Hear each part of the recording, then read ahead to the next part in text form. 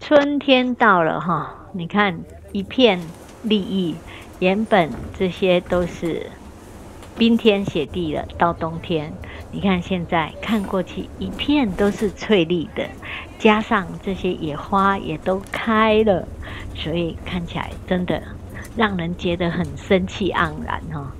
一年之计在于春哈，所以春天永远都是让我们精神最抖擞的时时候。看沿途，你看绿油油的一片。那我们看到我们要去稻城亚丁这个整个山路哈。那我们第一站来到这个地方，就是四姑娘山中其中的一个景区。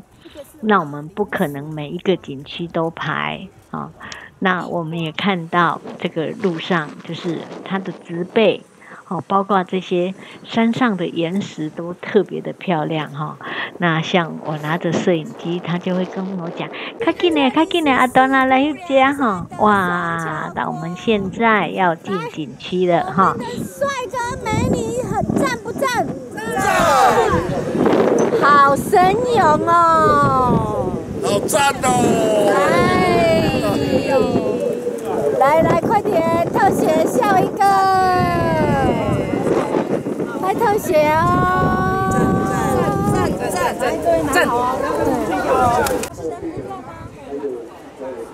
我们现在要来到这个地方，就是，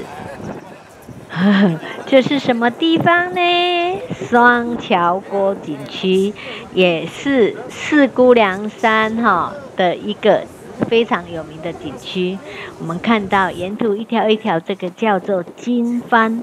那四姑娘山景区，可以说它就是我们说横断山脉了哈，在这里横断山脉四座非常美丽的山形成的。根据他们当当地他们。藏民的传说，这是四爷这四爷狗牛的化身，所以因为这样而得名，所以叫做四姑娘山。那四姑娘山是的四川省阿坝州羌族自治区，我想大家都不陌生，这里就是。小金县跟汶川县的交界处，也就是当时地震最严重的地方。那这里还有一个非常有名的，就是这边就是熊猫的保护区，熊猫的栖息地。那我们今天四姑娘山在这边，可以说称之为蜀山皇后。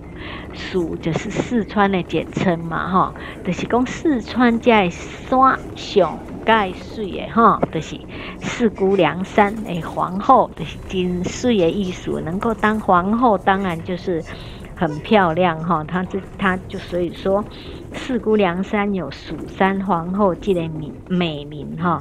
其实从我们从成都，然后还是会经过都江堰，就是我们走的路线。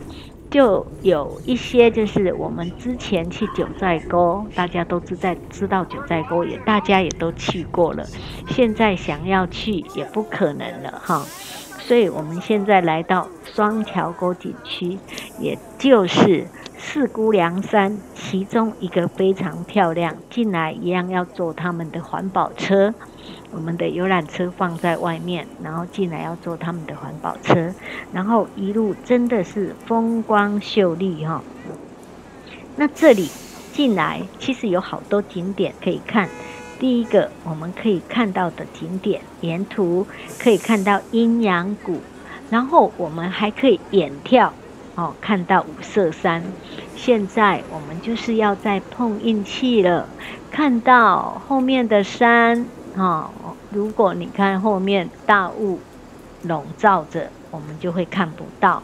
还有这里还有日夜宝镜，还有人参果坪，哈，还有沙棘林，还有盆景滩、吉林剑道、布达拉峰，还有这边我们看到的这些杉树都是非常有名的红杉林。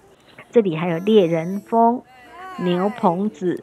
牛心山，你看四姑娘来，让你们看看这四姑娘，嗯，这个四姑娘山来的，嘿，啊，不是不是，这是阮集团的四姑娘哈，四姑娘大美女哈，因为特别给她拍一个镜头，她们好勇敢哦。你知道阿娇几岁了吗？阿娇，我把你讲出几岁来会对不起你哦哈。阿娇八十几岁了，她来到那个稻城亚丁高山，对她来讲都是 OK 的。都没有问题，因为双桥沟这个地方三千两百，照理讲到三千两千四百以上，好到三千二，可能大家开始都会有高山反应的。但是阮集团加开二十个加起来一千三百几岁，真正是勇爸啊永姆啊啦哈！啊，遮个山因为刚刚。下过雨哈，多了桂花，所以人看拢就清脆，而且这边的山都非常的漂亮。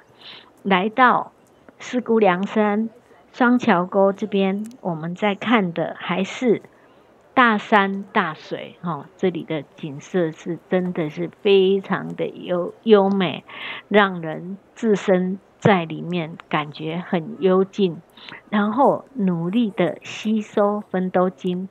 你看他们这些花开了，还有新的叶子都长出来了，我觉得这个是非常漂亮的哈，不知道怎么形容，所以我会把最漂亮的拍给我们观众看哈。有时候真的有一些特写镜头，这些森林真的还是。春天还是有它很美的地方，当然春秋都是美哈，春秋都是美。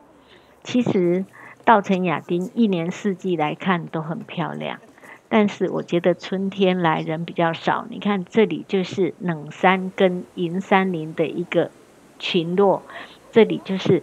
在双桥沟里面专门种冷杉、莲杉嘛，哈，加混杉冷种，所以这里都是这个这些木头都是非常珍贵的。然后等一下我们还会经过哈很多很漂亮的景色哈，像我们也会看到哈血竹墙环哈，还有松蟹彩艺、龙棚子哈，好慢慢。好，在这边，等一下，我们应该会看到五色山。啊，刚刚下过大雨，所以水水流很湍急，而且这边的湖也很漂亮哈。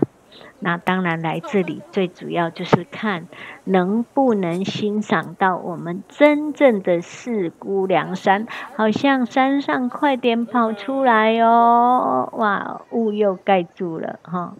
那只有拍这些野花，美丽的野花。好，你看小野花，这是春天最漂亮的哈。春天花都开了，有很多人爱花，爱春天；有很多人爱秋天。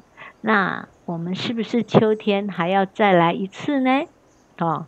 事实上，每一次都有不一样的景色，但是来到稻城亚丁，不用担心高山反应哈。从我们这个一千三百多岁哈，都能够上到海拔五千，叫做来热舞，大家拢无问题。这是等来才敢讲哈，起码已经大家拢等来到厝啊哈。才敢讲，哇，要去拢唔敢讲吼，心里还是有一点紧张哈。那这我们现在看到的就是双桥沟里面山上的景色哈。越来越漂亮哈！今天只是第二天而已，后面还有更漂亮哦，要慢慢的欣赏，慢慢等待。我们等着车来看这里，看这里，我们在等车，车子马上就来了，叫您第一名。